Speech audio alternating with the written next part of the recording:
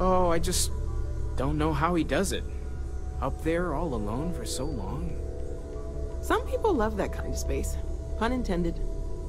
I feel like I've been waiting my whole life for this. Constellation, the artifacts.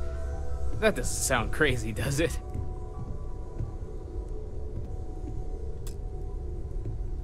Are you doing okay? I'm not sure anyone really asked yet. Don't want you to think we're focused on the artifacts and nothing else. You matter too. You've done something really significant bringing that artifact here. I'm Matteo, theological scholar by trade, but now, well, an explorer like you. It's really good to have you with us. Second one was on Kazal, buried the same as the one you found. But the first one, right under our noses for years, sitting in storage, masquerading as an oversized paperweight. Can you imagine potentially the greatest discovery in human history collecting dust?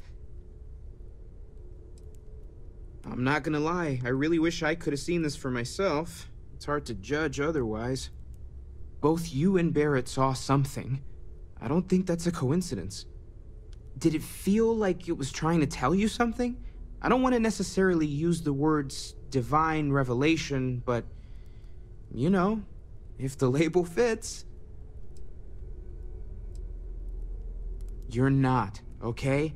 Barrett saw something too, and believe me, if he was willing to admit to it, it was a big deal. Just remember that you're not going through this alone. We're right here with you. We're gonna get to the bottom of this. We just need more data, which means more artifacts. Well, there was some overlap in interests. I'd spent years searching for religious relics from human history.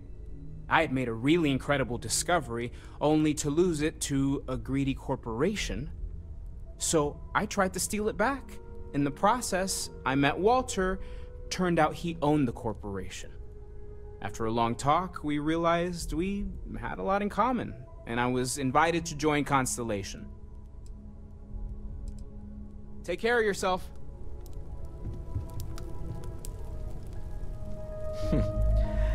well, I suppose that station in orbit has more than paid for itself at this point. Well, I suppose calling you a rock breaker may have been a bit out of line. Yes, you're right. My frustrations lie more with Barrett, not the first time his shenanigans have jeopardized one of our ventures. Not fair of me to take it out on you, especially since it would seem he made the right call this time. So, let's start over, shall we? Walter Stroud, CEO of Stroud Eklund, member of Constellation, and oft-times grumpy old man.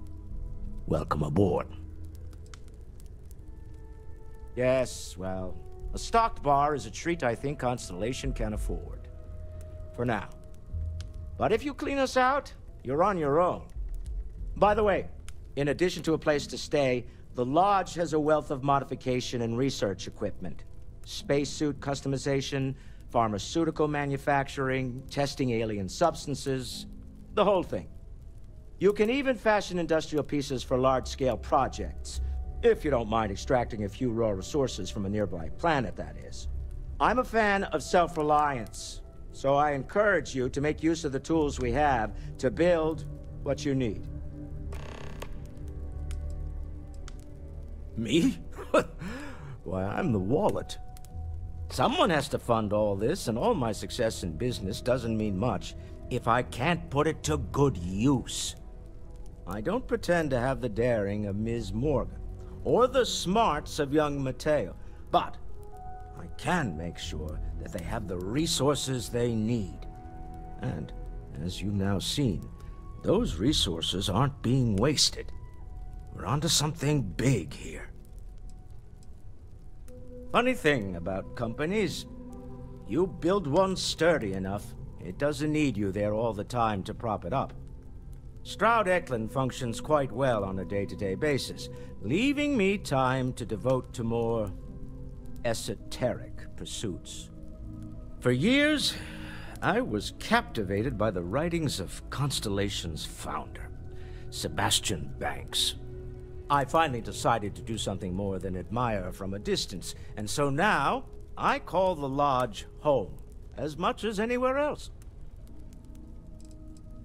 Up until very recently, I'd likely have dismissed it as, I don't know, hallucinations. But now, I'm not sure what to think. I don't suppose you have a history of this sort of thing, do you? Not exactly, no. But I suppose it doesn't matter. You saw something. Barrett saw something. That's an unlikely coincidence. I'm no scientist. I leave that to the likes of Barrett and young Noel there. But I think we can all agree there's something unusual going on here. Frankly, this is the most exciting thing that's happened in years. We're most well known for ship manufacture. No expense spared. If you want the best and can afford it, you choose Stroud Eklund. Unfortunately, our success means you'll sometimes see Stroud Eklund ship modules on less than reputable vessels. They covet them. The bastards. I've tried to convince the United Colonies we can help in that regard, but they're married to Deimos Star Yards, and those old salts are stuck in the glory days. Remember, you're representing all of us out there.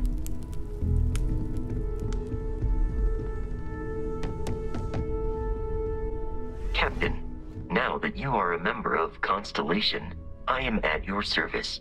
No additional protocols necessary. Also, given the likelihood that you will be out in unsettled space, it might be beneficial to go over exploration outpost development in case you ever need to build a base for field research. The exploration of an unknown planet can be a major undertaking. By building an outpost, you will be able to construct scanning equipment, resource extractors, and defenses. It is even possible to set up multiple outposts capable of manufacturing, allowing you to build advanced equipment. The scan booster is the most obvious, as it will enable you to detect landmarks and other points of interest from further away. Beyond that, extractors will allow you to collect raw materials of various types, while fabricators enable the manufacturing. A particularly prosperous outpost may even warrant the construction of cargo links, allowing you to share resources between other outposts you have built. A planetary scan will reveal the presence of key inorganic resources, although rarer elements will be harder to find without training. And while a scan may detect the presence of life on a planet, you will have to analyze the native plants and animals yourself to know what compounds they produce. The blueprints you need to construct an outpost should already be on your watch. It will automatically connect to any available materials for construction in your ship's cargo. My primary function has been to support and protect Barrett during his travels. I am currently unable to do so. That is as capable as I can be of missing anyone. I believe Barrett would find your question amusing. As per Protocol Indigo, which Barrett invoked on Vectera, your identity has been successfully added to the list of humans considered essential and or valuable. There is no cause for concern, Captain. I am and will remain at your service. I arrived along with many material goods purchased by the group's previous chair, Malcolm Livingstone. Despite several significant system replacements and upgrades, I have been online for 43 years.